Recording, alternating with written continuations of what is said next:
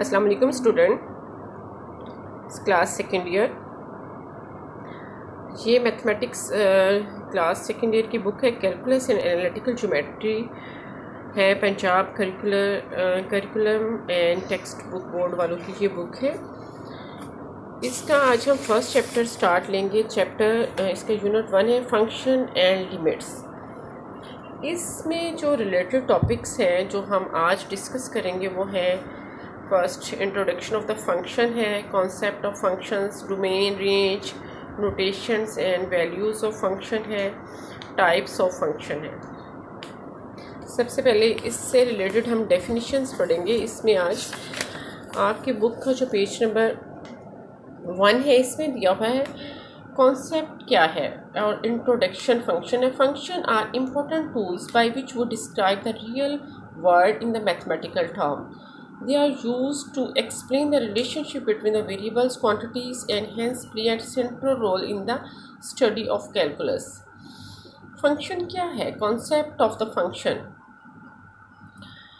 In term of in term of function was recognized by a German mathematician Leibniz in 1646 to 1716. ये objective point of view से important है इसको underline कर लें to describe the dependence of one quantity on an other the following examples illustrate how the term is use for example if अगर हम area find out करना चाह रहे हैं तो एरिया क्या होता है? साइड मल्टीप्लाई साइड के इक्वल होता है। अगर हम ईच साइड को एक्स से डिनोट करें तो इट मीन एरिया एक्स पे डिपेंड कर रहा होता है। साइड पे डिपेंड करता है। जैसे जैसे साइड्स चेंज होती हैं एरिया चेंज हो जाता है।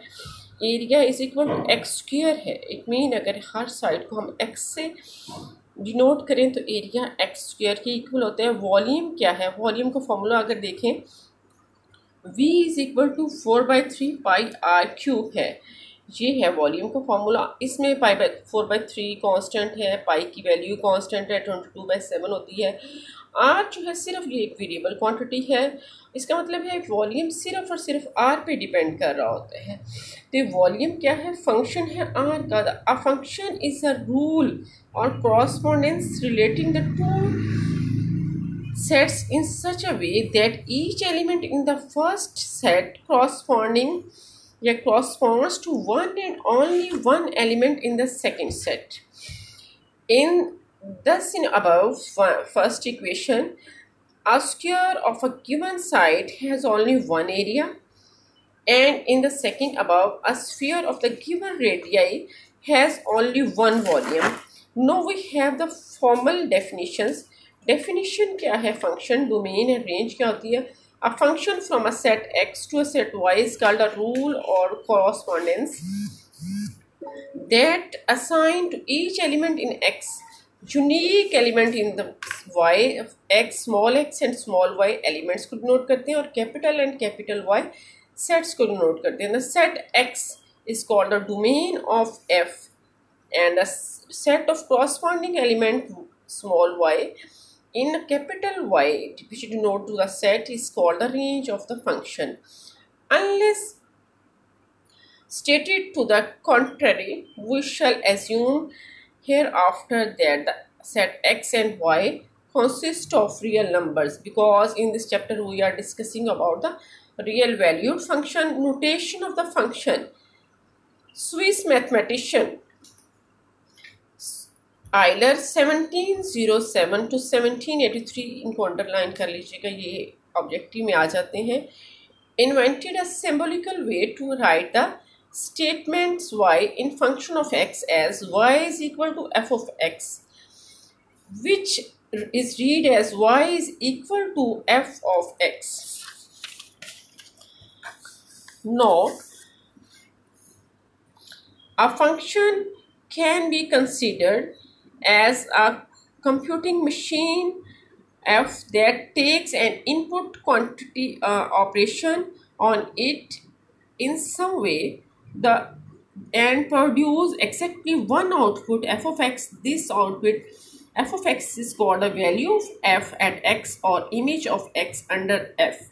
The output f of x is noted by as a single letter say y and write y is equal to f of x is जो सात फिगर है इसमें आप देख सकते हैं इनपुट हम अप्लाई करेंगे उस पर फ़ंक्शन ऑपरेट होता है और उसके ऑपरेशन के नतीजे में जो हमें मिलता है वो रेंज होती है उसको हम एफ़ ऑफ़ एक्स से डिनोट करते हैं the variable X is called the independent value variables of f and the variable y is called the dependent variables of f. For now, onward we shall only consider the function in which the variable and real numbers, and we say that f is the real valued function.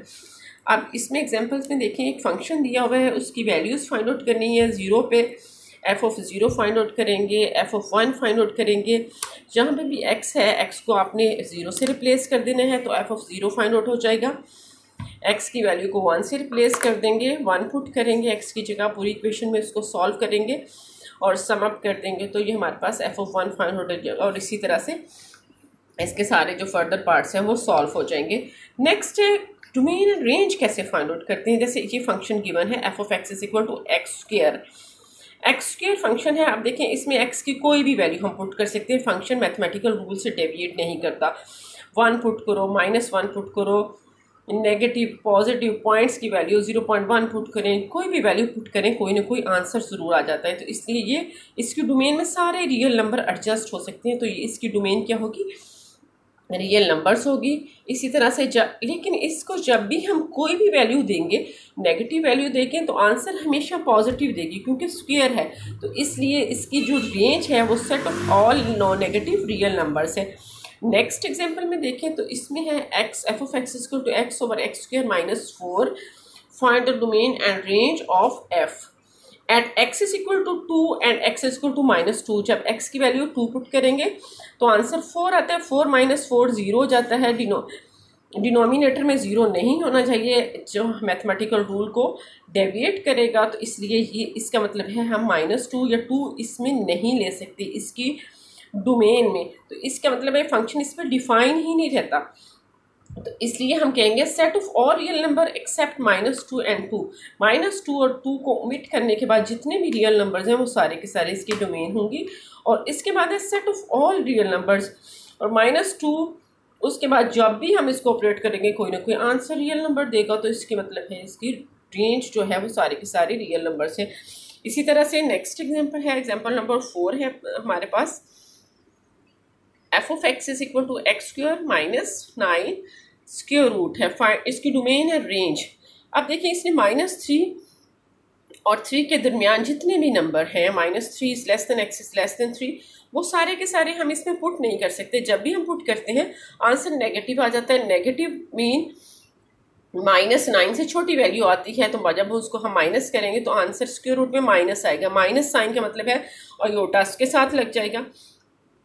Yotta complex values answer देगा। Complex number तो हम नहीं पढ़ रहे, हम complex value function भी नहीं study कर ये रियल वैल्यूड फ़ंक्शन का चैप्टर है। तो इसलिए हम कह रहे हैं कि ये माइनस थ्री और less than X is less than three का जो सेट है, वो इसमें से अगर हम माइनस कर दें तो ये इसकी सारी की सारी डोमेन होगी और set of all positive real valued function है, उनको हम यू भी एक्सप्रेस कर सकते हैं ज़ीरो से लेके प्लस इन्फिनिटी तक सारे के सारे रियल लाइन पे जो पॉजिटिव वैल्यूज़ आती हैं, वो सारे के सारे इसकी रेंज में शामिल है। आज के लिए मेरा ख्याल इतना ही काफ़ी है। कल हम इससे रिलेटेड इसकी टाइप्स पढ़ेंगे। टाइप्स ऑफ़ फ़ंक्शन क्या है और उसके बाद फिर हम फर्दर आगे स्टडी करेंगे। तो नेक्स्ट लेक्चर में हमारा यही होगा। टाइप ऑफ़ फ़ंक्शन आप इसको रीड कर लीजिएगा। Okay, Allah is.